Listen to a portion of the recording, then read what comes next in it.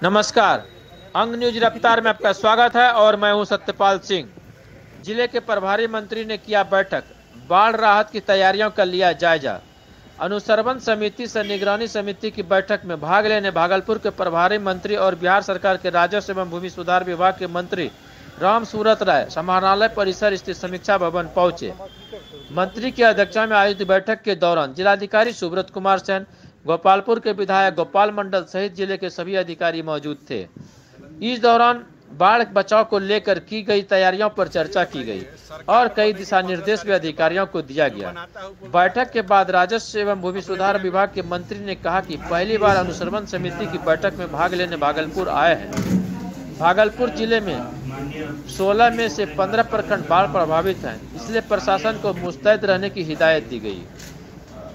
वहीं मंत्री द्वारा अब तक भागलपुर ज़िले के कटाव प्रभावित क्षेत्र खरीक प्रखंड के चोरहर कटाव प्रभावित लोगों को खाने के लाले पड़ने की सूचना मिलने पर तुरंत ही जिलाधिकारी सुब्रत कुमार सेन को प्रभावित इलाकों में सामुदायिक रसोई चलाने का निर्देश दिया। साथ ही प्रभारी मंत्री ने आपदा प्रभावित लोगों को जल्द से जल्द सहयोग राशि देने की भी बात कही। भागलपुर विशेष संवाददाता सत्यपाल सिंह की रिपोर्ट। अंचलों में सोलह प्रखंड है, जिसे पंद्रह प्रखंड में बाढ़ प्रभावित इलाका है।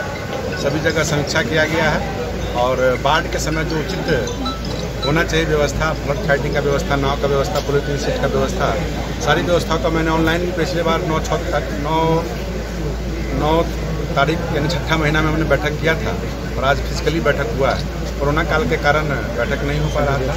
संतोषप्रद जानकारियाँ मिली हैं और जहाँ जहाँ माननीय सदस्यों ने कुछ समस्या बताया है वो डीएम ने अपने नोटबुक में लिखा है और सब जगह उस काम को करवाने का प्रयास किया जाएगा। सर कटाव लगातार हो रहा है कटाव एक प्राकृतिक आपदा है कटाव हो रहा है लेकिन सरकार उस पर चिंतित है। बचाने का भी कई एक जगह काम हुआ। माननीय विधायक शैलेंद्र जी ने बताया कि वहाँ पर बचाव भी हुआ है। जहाँ भी स्थापित हो रहे हैं उन लोगों को मैं बैठाने का और व्यवस्था करने का प्रयास कर रहा हूँ।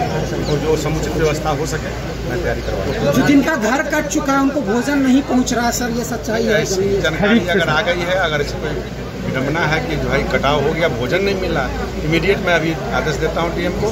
तो अगर जगह का नाम बताइए। चौहर सर चौराहर खड़ीक चौराहर खड़ीक चौराहा। चौराहर सर के ठीक अभी बोलते डीएम साहब इधर आइए।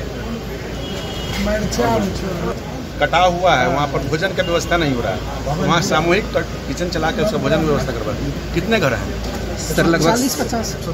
एक सौ तीस घर है। 130 मैंने कह दिया चालू हो जाएगा और क्या अभी तो पहली बार आया हूँ और कल बता दूँ आप कल हमारा प्रमंडलीय बैठक अपना विभाग का है राजस्व भूमि सुधार विभाग का है। तो कल सुबह ग्यारह से लेकर चार बजे तक बैठक वो अलग चलेगा और आज पहला बैठक है गेट टुगेदर हुआ लोगों से जान पहचान जी?